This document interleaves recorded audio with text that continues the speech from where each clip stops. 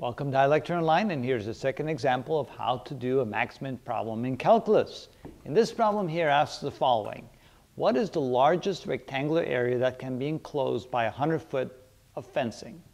And then, just to make it interesting, would the area be larger if we make it into a circular fence instead of a rectangular fence? So that's the second part of the problem, just because I was kind of curious to figure out, find out myself. But anyway, let's do the first part of the problem. And again, so we start out with a, um, with a drawing always. If you don't have a sketch already provided for you, uh, make sure you make a sketch. So let's say we have a rectangular area. This is the width, this is the length, and then based upon what they give us, that the, uh, the, the, fencing we have available is 100 feet long. That means that the perimeter must be 100 meter long, uh, 100 feet long. So the perimeter, which is equal to 100 feet, uh, is equal to twice the width plus twice the length. And that then will be our constraint, which you will see in just a moment. Okay, so once you have a picture of what's going on here, uh, now the first thing we do is figure out what's being maximized. And in this case, we're trying to maximize the area enclosed. So A max is what we're trying to find out here. Okay, once you've determined what that is, now you want to come up with an equation to determine the area. And so the equation in this case would be area equals the length times the width. All right, um, now of course since length and width are two different variables, you cannot continue on with the problem until you eliminate one of those two variables. To do that, we're going to use a constraint. So step three, we're going to find a constraint, and here it is, that 100 must equal 2 times the width plus 2 times the length, because that's all the fencing you've got. So let's let's uh, equate that equation for one of the variables in terms of the other. So let's say we solve for w. So that means that 2w is equal to 100 minus 2l. When I move the 2l across the other side, I have 100 minus 2l. Then I switch the equation around, dividing both sides by 2. I get w is equal to 50 minus l. So with this relationship between W and L, which came out of our constraint, I can plug that back into our equation, and instead of writing W, I can write 50 minus L, so the area is equal to L times 50 minus L. And now I have an equation I can move forward with because there's only one variable left in there, which is L.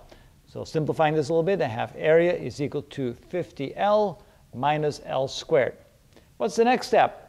The next step is to find the derivative of that equation. So for a prime equals, in this case, it would be 50 minus 2l. And then after that, we take the derivative and set it equal to 0. So step 5, so set the area, the derivative area equal to 0.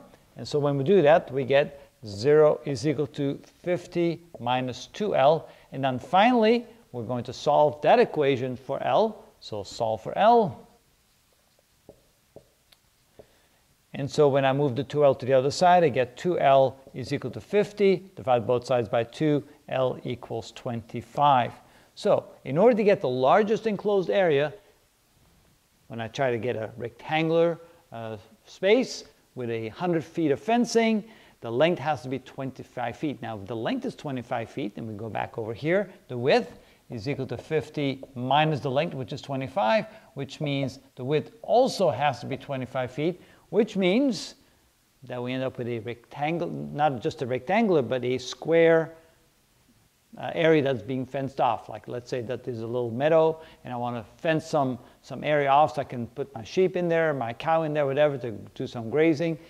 Not that you'll get a big piece of land that way, but um, that means that the maximum area can be fenced in if you make it square instead of rectangular. So in this case, the L must equal the width, must equal 25 feet.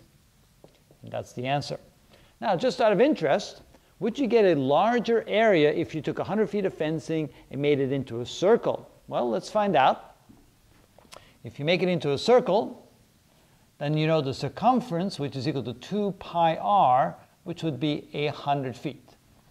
All right, so what would be the area of that um, circle? Well, if the radius is equal to, well, we have to find what the radius is in this case. So, so, from, so from here we can say that 2 pi r equals 100, which means r is equal to 100 divided by 2 pi. All right, and the area for a circle, area, is equal to pi r squared. So this would be pi times r, which is 100, divided by 2 pi. And we have to square that. So this is equal to 10,000 divided by 4 pi squared. And then we have still a pi in the numerator from here, right there. So then this pi cancels out that pi.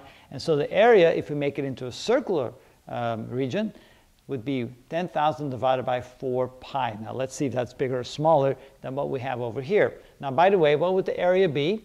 Well, since the area is equal to the width times the length, and each of them are 25 feet, we would end up with a 625 square foot area. And let's find out how big this is.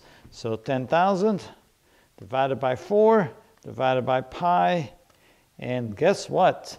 We would end up with an area that's slightly bigger than 795 square feet. And oh, look at that. If you want a little bit bigger area for a sheep or your cow and you only have 100 feet of fencing, make it into a circle rather than a square. But if it has to be rectangular, you, you realize that a square is the largest rectangle you can have for a specific uh, given perimeter. All right, example number two. So let's we come up with some more examples to see how you do max-min problems in calculus. But just to kind of review a little bit, again, step one, find out what's being maximized. Step two, find an equation with the given variables for the thing that you're trying to maximize. Then, using a constraint, eliminate all but one of the variables. Then you take the derivative of that equation. Then you set the derivative equal to zero, and then you solve for the variable, and then course, once you have this value, using your constraint, you can solve them for the other variables. But that's the general way in which you solve max-min problems.